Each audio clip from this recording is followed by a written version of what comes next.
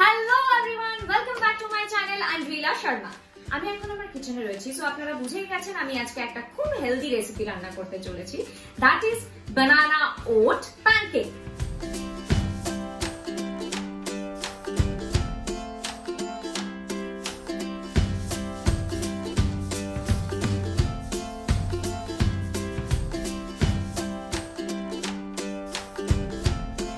একটা বোলের মধ্যে এক কাপ দুধ দিলাম। সেই দুধটার মধ্যে এক কাপ ব্লেন্ডেড ওটস দিলাম। এই ওটসটাকে আমি আগেই একটু তাওয়াতে নেড়ে মিক্সার গ্রাইন্ডারে গ্রাইন্ড করে রেখেছিলাম।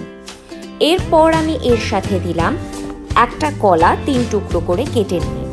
তারপর অ্যাড করলাম লবণ। Here I am using pink salt অল্প একটু সিনেমন গুঁড়ো।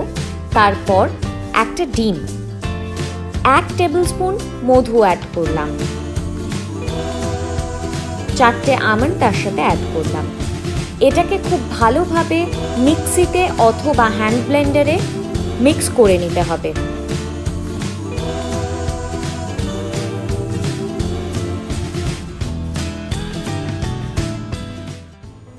ওভেনে একটা ফ্রাইং প্যান গরম করতে দিলাম।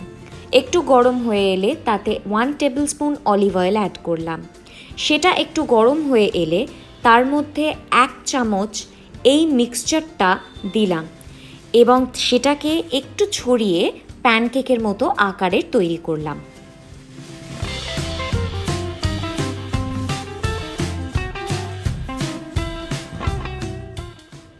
গ্যাসের আঁচটাকে কমিয়ে নিয়ে প্যানকেকটাকে দু থেকে তিন মিনিট রাখার পর সেটাকে খুব আলগা হাতে উল্টে নিতে হবে।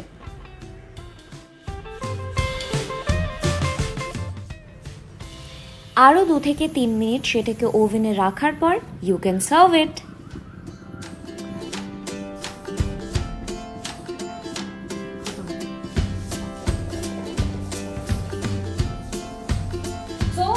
আমরা গার্নিশিং করব। গার্নিশিং এর জন্য আমার লাগবে আমল, দুটো আমের আর আপনারা যদি চান, এটাতে আপনারা হানি দিয়েও খেতে পারেন। আবার আপনাদের যদি চকলেট সিরাপ পছন্দ হয় maple syrup whatever you want সেটা দিয়ে আপনারা খেতে পারেন। আমার যেহেতু চকলেট সিরাপ পছন্দের, তাই আমি চকলেট সিরাপ দিয়ে এটা গার্নিশ করব।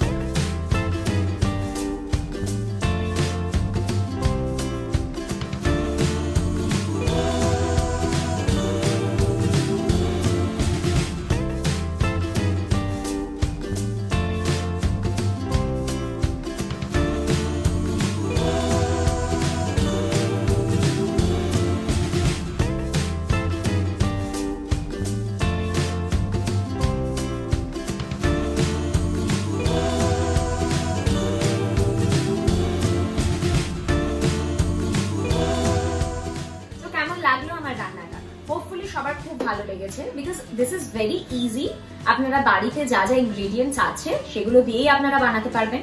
আমি একটা কথা খুব ভালো করে জানি, এই যে কোয়ারেন্টাইনে আমরা সত্যি খুব আজে বাজে খেয়ে ফেলছি আর মোটা হয়ে যাচ্ছি। কিন্তু এইটা যদি আমরা খাই, তাহলে কিন্তু আমরা মোটা হব না, পাতলা হয়ে যাব।